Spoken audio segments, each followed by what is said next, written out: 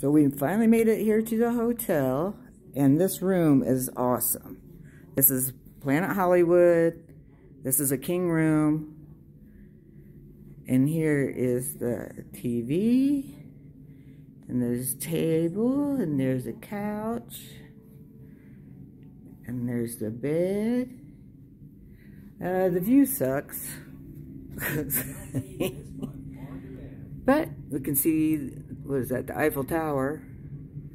I think that's Cromwell or something. Anyway, check out the bathroom though.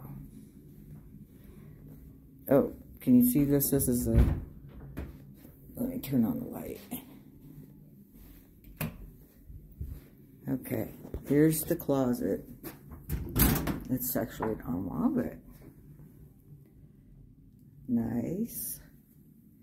And here is the bathroom with two sinks,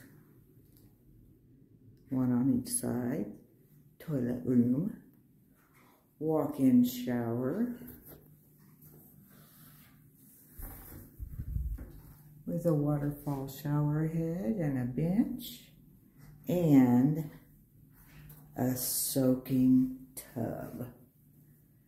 Believe I'm going to Walgreens and getting me some something for this sore, sore body from all this traveling all day. I'll forward you guys a picture of Kaylee and uh, Elizabeth in the limousine. So, I'll post more later. Bye.